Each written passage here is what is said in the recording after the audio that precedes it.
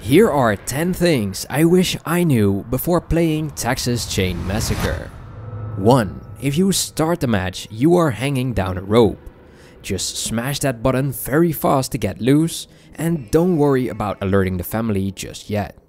You can also hold the button, but it will be very slow in comparison and not worth the effort. Same thing can be said for opening your first toolbox. As long as you're getting there fast, just spam the button until you get what you need and hide after the fact.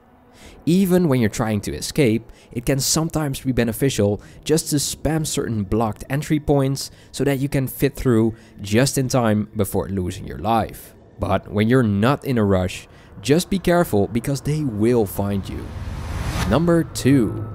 This heart you see here gradually decreases over time, meaning you cannot endlessly hide, even though very tempting when first starting out. When you begin a match, your health is constantly draining, even if you don't take any damage. Your condition will grow worse over time. And as if that wasn't bad enough, your heart has three colors red, orange, and gray. Red means you're mostly fine, although your health will tick down slowly. As the red empties out, your heart will turn orange. Once this happens, the victim will lose health at an accelerated rate. The most dangerous thing happens when the heart grays out. If this is left unchecked, the victim collapses, and it will need some extra time to get back on its feet. Number 3. Bone scraps can be found in piles of bones on the ground spread across the property. When you've acquired bone scraps, all you need to do is locate Grandpa and stab him by pressing the action button. Doing this won't kill him, but it will temporarily stun him preventing him from using this ability and leveling up for a short amount of time.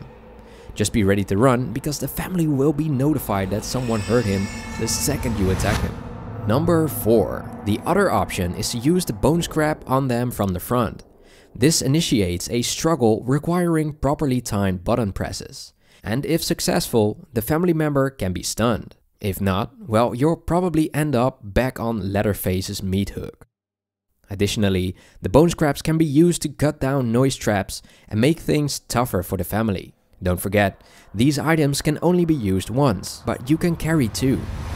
Number 5. The screen flashing yellow and red just means one of the family members is nearby.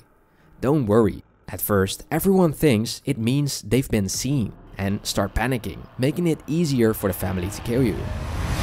Number 6. Panicking in this game is a big part of the fun so enjoy the game. But hiding gets easier the longer you play. Sit in bushes, hide behind things, or just run and outmaneuver them. You have these cracks in the walls where most can't follow you, and you can jump over these obstacles too. Going back and forth creates time for you to hide again or lose them. Number 7. Use the perks this game offers. You can select your skill tree and acquire the intuition perk. If you then grab an item to escape, the next step will highlight, making it much easier to navigate under stress. And here, the game lays out the way for you. And once you've done it multiple times, you can replace that perk with something else, since you now know how to escape yourself. Number 8. You can select a character if it has not been chosen yet. So if you're fast, you can always play the character you want. If the character you've leveled is chosen, you can even ask them to change the character, to which they can accept or decline. Number 9.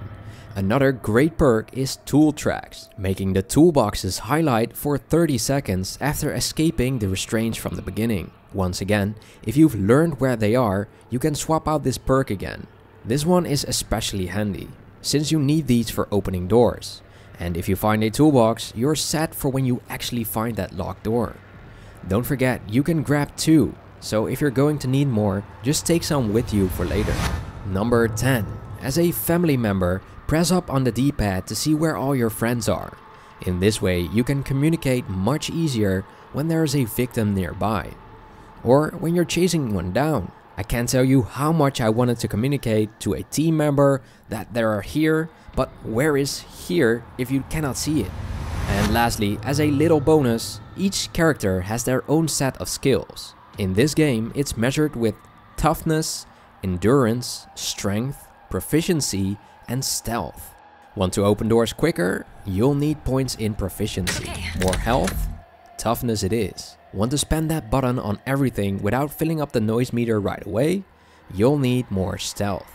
When you're specking your skill tree with points you've earned, you'll see these extra attribute points, which you can then use for plus 1 on each of the skills mentioned.